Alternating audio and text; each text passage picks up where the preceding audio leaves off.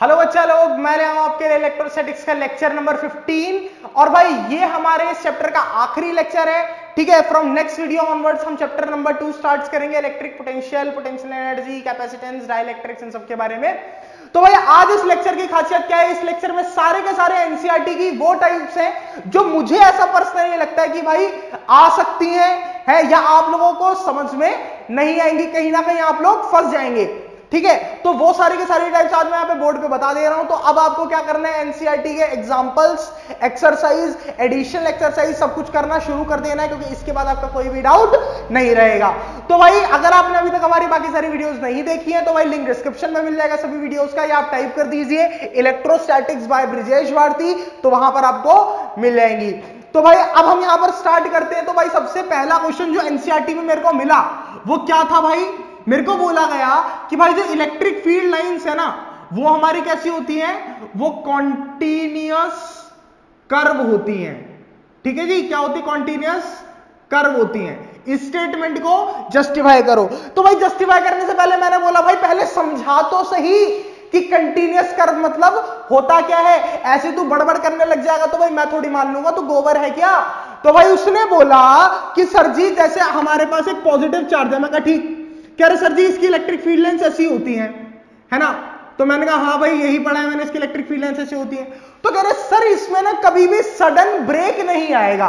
मैं कहा sudden break बोले तो भाई सडन ब्रेक का मतलब है कि भाई, यहाँ से इलेक्ट्रिक फ़ील्ड लाइन चल रही थी, चल रही चल रही थी, एकदम से ये ब्रेक आ गया सडन और उसके दोबारा फ़ील्ड लाइन स्टार्ट हो गई।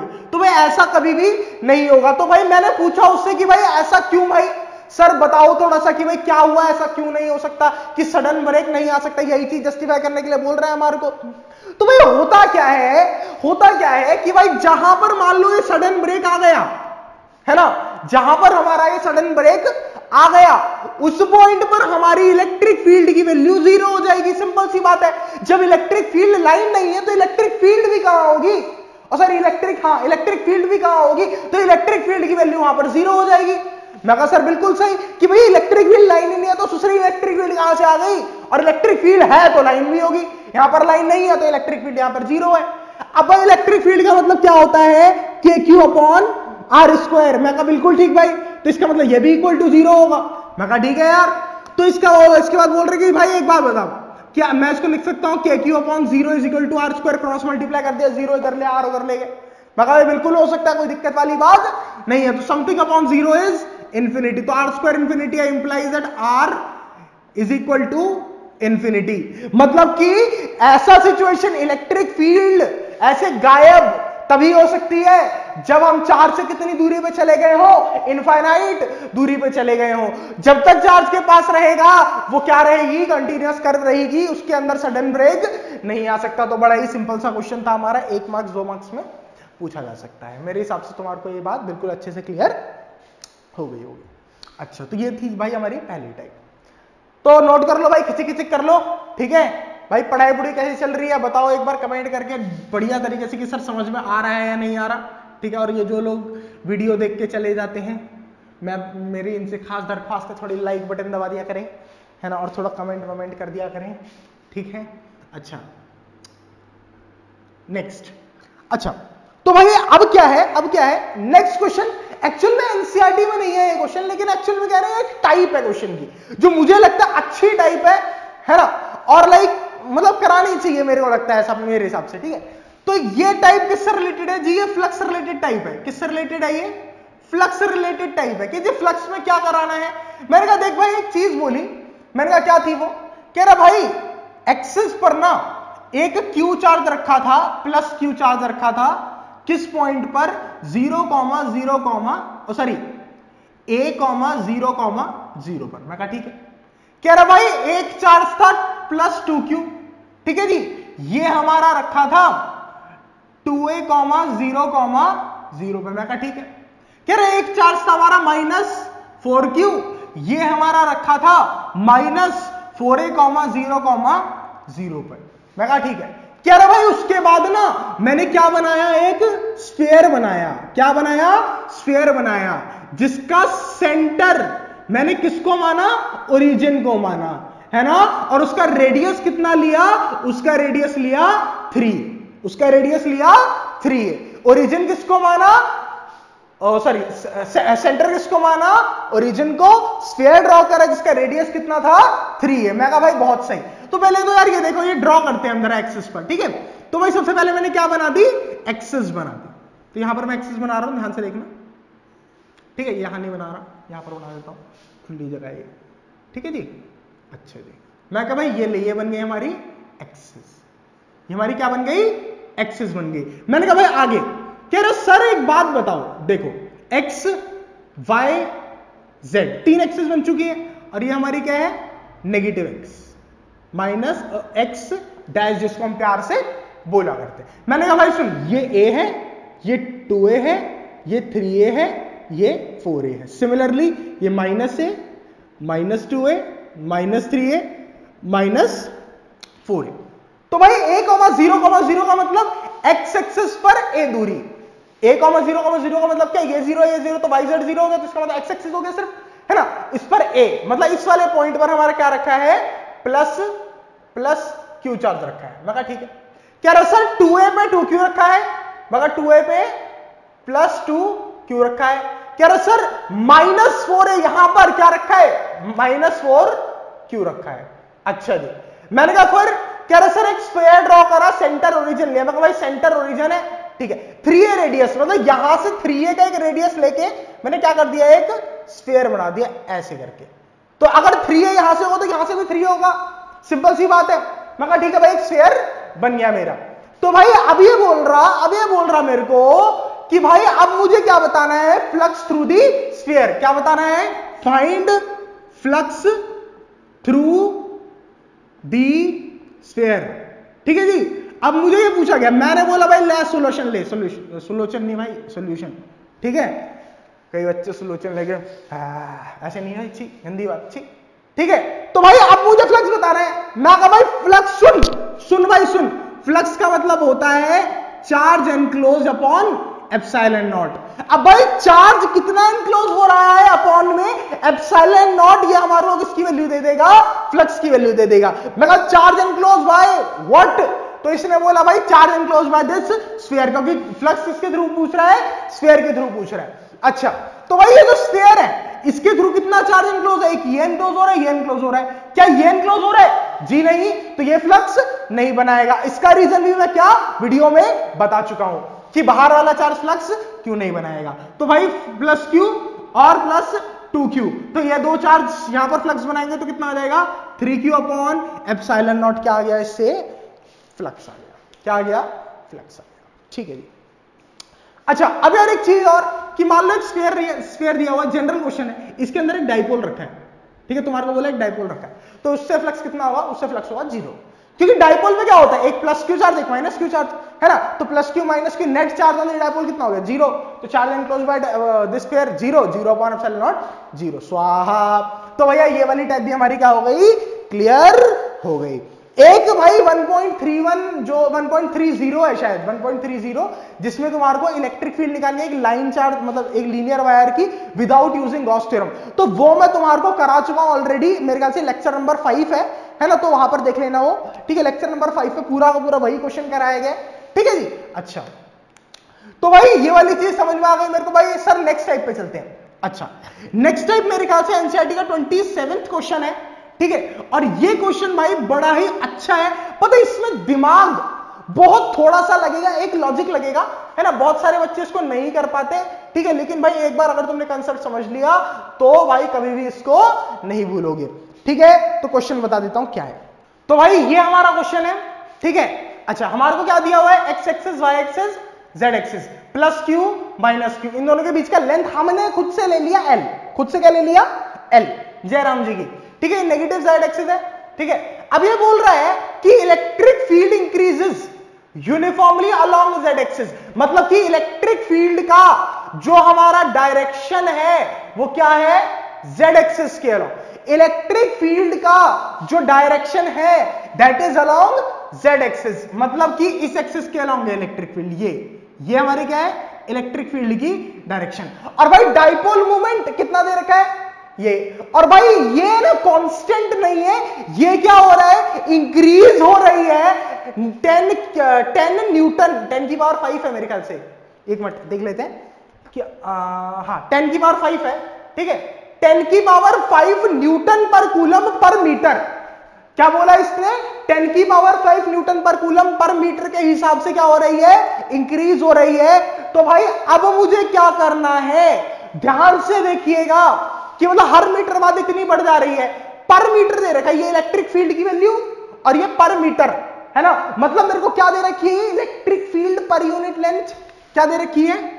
Electric field per unit length ठीक है electric field per unit length मेरे पास कितने टेन की power five newton per coulomb simple सी बात है भाई electric field per unit length मेरे को दे रखी है, क्योंकि इसमें बोला है पर मीटर पर मीटर क्या होता है? लेंथ है ना? तो electric field per unit length is ten की power five newton per coulomb अच्छा जी। अब भाई इसके बाद डाइपोल मूवमेंट कितना दे रखा है? डाइपोल मूवमेंट मेरे को दे रखा है टेन की power minus seven coulomb metre सबसे पहले टॉर्क पूछा हुआ है तो भाई सबसे पहले टॉर्क निकालना तो बहुत ही ज़्यादा सिंपल है। देखो भाई ध्यान से। टॉर्क पूछा टॉर्क निकाल लेंगे। टॉर्क का फॉर्मूला क्या होता है? पी क्रॉस ई सबने पढ़ा? मैंने वीडियो में बताया था। ठीक है जी?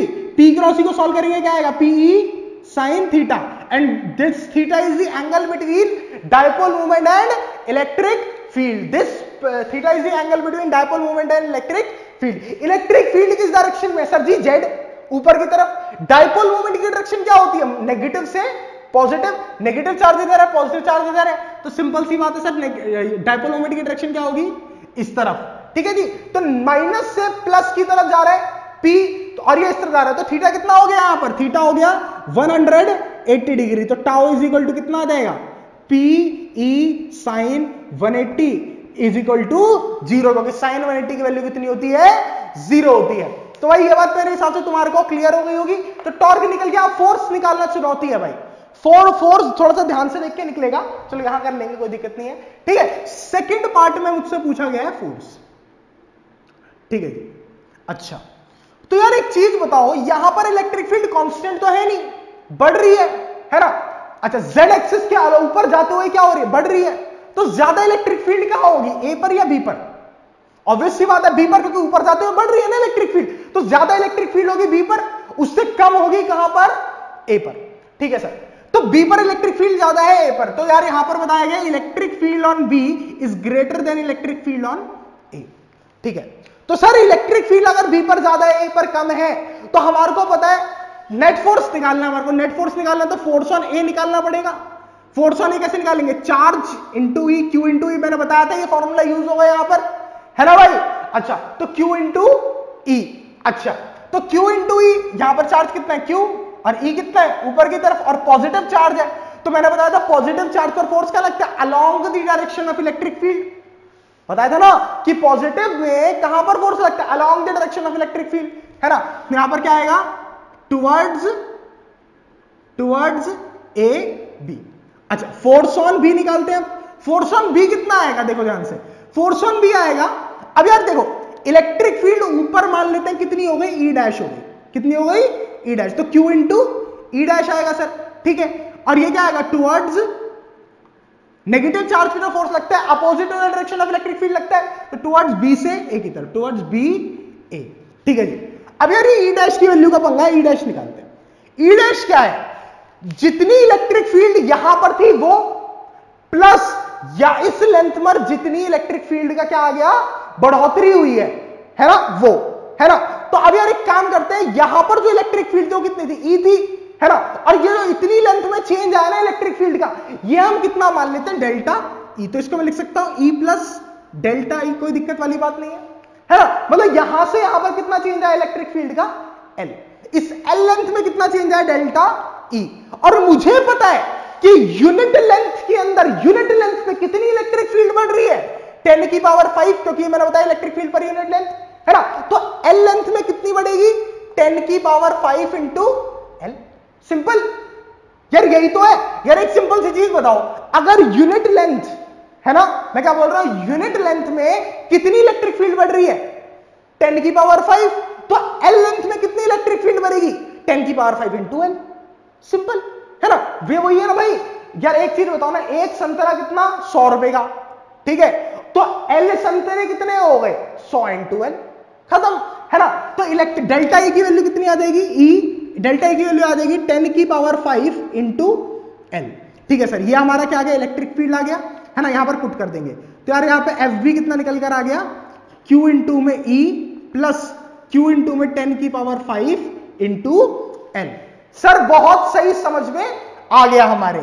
ठीक है? अच्छा अब यार एक चीज़ बताओ। अब इसका फोर्स नीचे की तरफ़, इसका फोर्स ऊपर की तरफ़ तो नेट फोर्स कैसे निकालेंगे? एफ़ नेट कैसे निकालेंगे? F B minus F A यही करके निकालेंगे F B minus F A ठीक है? तो एफ़ बी कितना हमारा ये?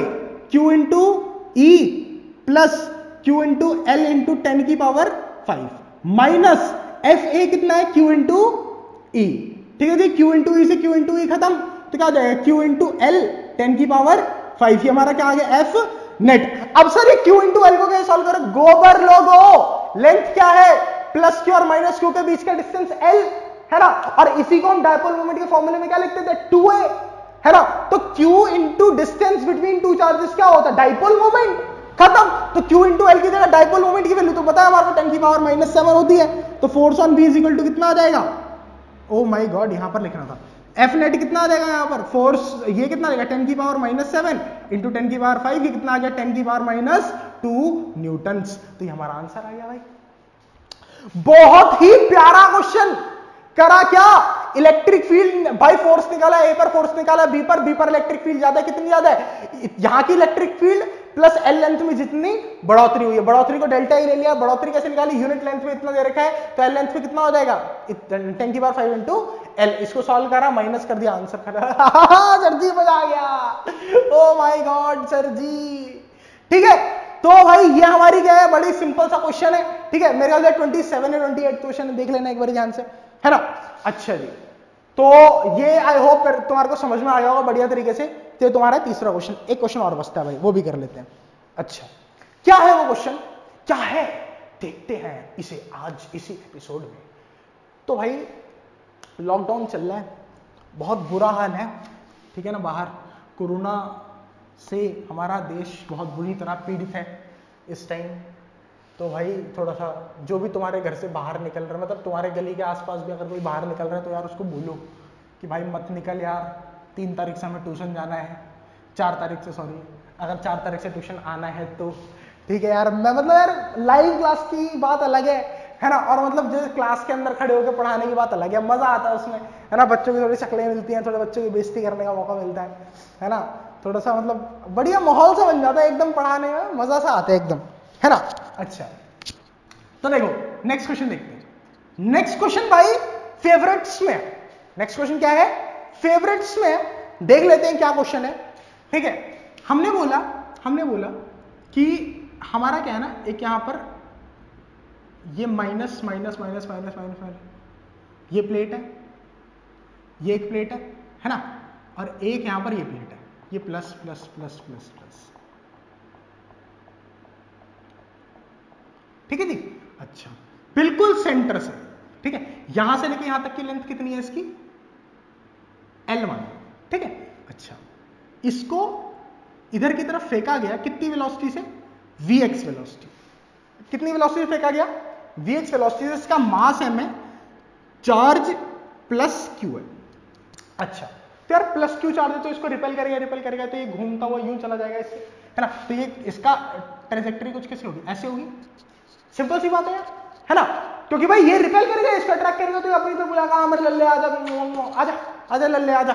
है ना? तो इसको अपनी तरफ़ बुलाएगा। लल्ला, है ना? अच्छा जी।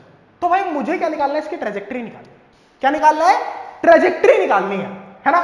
ट्रेजेक्ट्री क्या प्रूफ करना है? पैराबोलिक प्रूफ करना है। और पैराबोला कैसे आता था? Y is equal to K X square ये हमारी क्या है? Equation of parabola standard parabola है ना? या फिर हमारी जो इक्वेशन मैंने तुम्हारे को इलेवन क्लास में बताई थी ए एक्स प्लस में बी एक्स स्क्वायर ये होती है स्टैंडर्ड इक्वेशन ऑफ़ पैराबोला इन दोनों में से कोई एक इक्वेशन सेटिस्फाई करना चाहिए, जहाँ पर ए और बी क्या है आपस में कॉन्स्टेंट्स है। ठीक है? स्टार्ट करते हैं। जैसे हमने प्रोजेक्टाइल करा था, ठीक है, उसी सेम बेसिस को लेके करेंगे। प्रोजेक्टाइल हमने क्या किया था? एक्स एक्सिस अलग वाई एक्सिस अलग, है ना? तो एक्स ही करेंगे। एक्स एक्सिस अलग लिख लो। ठीक है? ये तुम्हारी एक्स एक्सिस है और ये तुम्हारी वाई एक्सिस है। ये एक्स एक्सिस और ये वाई एक्सिस ठीक है जी? अब इस तरफ़ आ रहा है पार्टिकल इनिशियली क्या इस तरफ़ की है तो initial velocity long X axis कितना हो गया? एक्स कितना हो गया? एक्स है ना? अच्छा। Initial velocity long Y axis क्या है? खुद देखो। इस तरफ़, इस ऊपर की डायरेक्शन में क्या कोई वेलोसिटी है? नहीं। सिर्फ़ इसी डायरेक्शन में तो initial velocity long Y axis कितना हो गया? ज़ीरो अच्छा। अब यार मैंने क्या किया? एक बार थोड़ा सा धक्का देकर इसे सिर्फ़ छोड़ दिया तो एक्स एक्सिस के अलोंग क्या कोई भी फोर्स लग रहा है? मैंने क्या किया है? हल्का से इसको यूँ करके टक करके छोड़ दिया है। ना? वीएक्स वेलोसिटी देके छोड़ दिया। है ना? तो एक्स एक्सिस में तो कोई भी इस पे कंटीन्यूअस फोर्स नहीं लग रहा है ना। कोई भी कंटीन्यूअस फोर्स एक्स एक्सिस पर नहीं लग रहा है। तो फोर्स नहीं होगा तो एक्सेलरेशन भी नहीं होगा। तो इसका मतलब एक्सेलरेशन लॉन्ग एक्स एक्सिस कितना है? ज़ीरो अच्छा जी एक्सेलरेशन लॉन्ग वाई एक्सिस की क्या बात आई? सर इस पर ऊपर की तरफ़ कितना फोर्स लगेगा? क्यू इंटू ई के बराबर। सिंपल सी बात है सर ये वाली रीजन में इलेक्ट्रिक फ़ील्ड ई दे रखी है हमारे को। तो इस पर ऊपर की तरफ़ फोर्स कितना लगेगा? क्यू इंटू क्योंकि पॉजिटिव चार्ज है तो along the direction of electric field force लगता है। है ना? तो भाई इस पर एक्सेलरेशन कितना आएगा? अब देखो फोर्स कितना है इस पर? क्यू इंटू ई तो फोर्स क्या होता है? M into A force is equal to M A. तो क्यू इंटू ई तो एक्सेलरेशन कितना आ गया?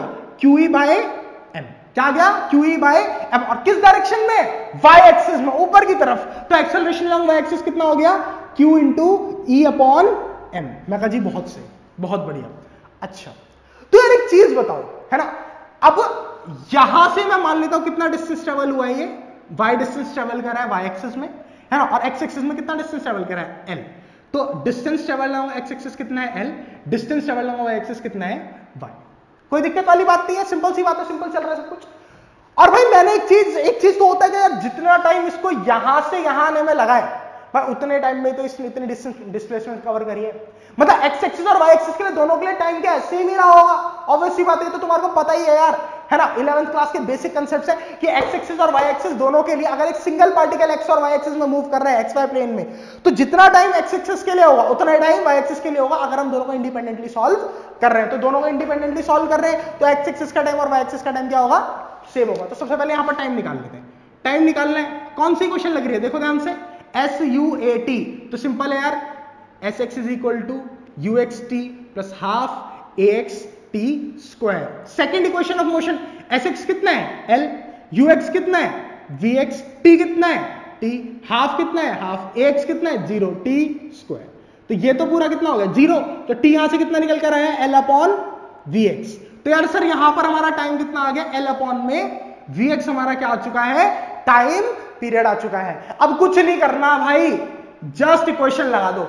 क्या लगा दो? इक्वेशन लगा दो बस। कौन सी सर वही इक्वेशन भाई। एस यू ए टी दिख रहा है।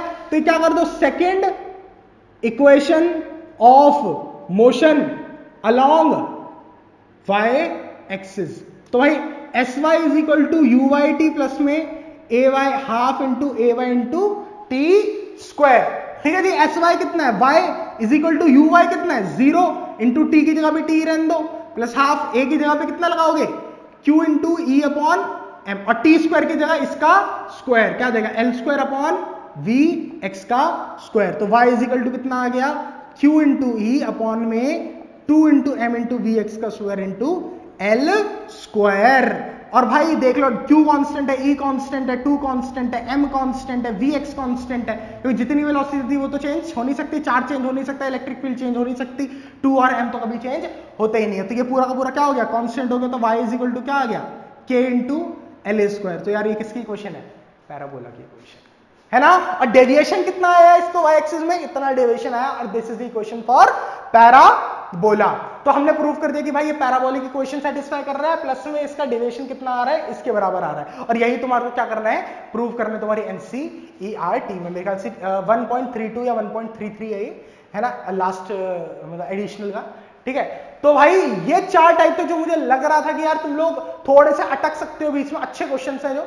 ठीक है? बाकी तो कोई दिक्कत नहीं है। तो भाई ऐसी वीडियोस देखते रहो हमारे। पसंद आ रही हो तो लाइक करो यार। है ना? सब्सक्राइब करो शेयर करो, जितना ज़्यादा ज़्यादा कर सकते हो। और भाई कमेंट करके ज़रूर बताया करो कि भाई वीडियोस पसंद आई है या नहीं आई है। ठीक है? क्या क्या इंप्रूवमेंट हो सकती है? क्योंकि यार हौसला सा बढ़ाते हैं थोड़ा। ठीक है? तो till then all the very best